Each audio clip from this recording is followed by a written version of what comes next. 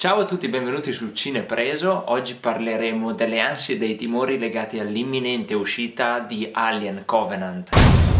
Holy Alien Covenant è diretto da Ridley Scott ed è l'ennesimo capitolo del franchise di Alien. Ridley Scott è lo storico, mitico, incredibile regista che aveva portato alla luce quella perla del primo Alien. Covenant, stando alle informazioni che abbiamo, che ci sono state date fino ad ora dal marketing, si dovrebbe collocare poco dopo le avventure di Prometheus. Film che ho trovato molto affascinante ma allo stesso tempo un vero casino dal punto di vista della trama. La sceneggiatura era stata affidata a Damon Lindelof, eh, che è stato anche lo sceneggiatore creatore di Lost, che ha fatto di tutto per incasinare il film. Con Alien Covenant, da quello che abbiamo visto nei trailer e nelle clip mostrate in internet, sembra che Ridley Scott sia tornato alle atmosfere più classiche, ma nonostante tutto non posso che essere terrorizzato da quello che può uscire.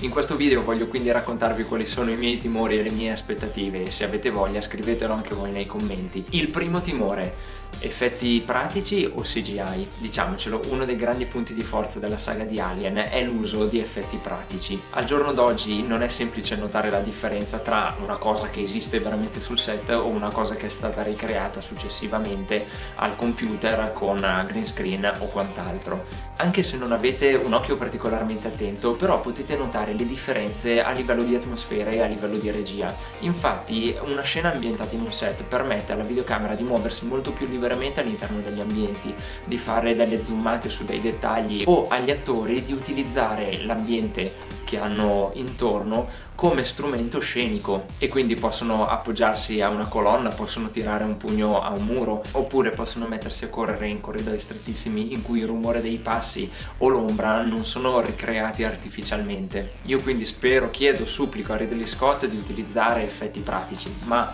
eh, da quello che abbiamo visto nei trailer e nelle prime clip dovremmo esserci.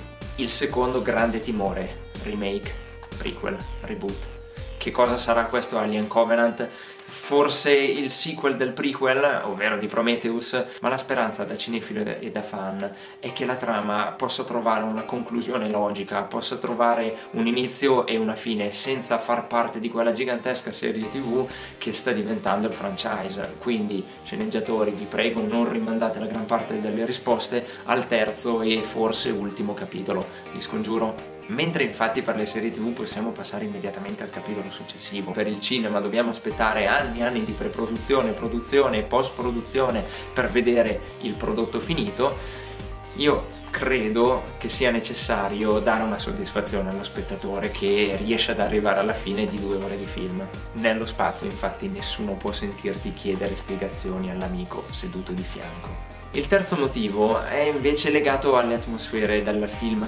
Se c'era infatti una cosa buona in Prometheus era quella sensazione di grandissimo complotto spaziale, quell'idea che dietro all'origine della razza umana ci fossero delle altre creature molto più avanzate ed evolute di noi e che fossero ancora in vita, o forse no, e l'origine degli alien a cosa dovuta. Ecco questi misteri, questa fantascienza sporca di atmosfera mi piacciono tantissimo e spero che vengano mantenute anche in Alien Covenant perché, lo ripeto, sono forse la parte migliore di quel macello che è Prometheus. Ho anche grandi speranze per questo film, uno dei punti per cui lo attendo di più è sicuramente legato all'aspetto orrorifico. Sappiamo che il film in America sarà vietato ai minori, abbiamo visto un sacco di trailer che sono anche piuttosto sanguinolenti e pur non essendo un grande fan dello splatter e del sangue ad ogni costo, mi sembra che l'atmosfera di terrore dello spazio sia azzeccata. Per fare bene Alien bisogna inoltre capire che l'alieno non è il vero protagonista del film,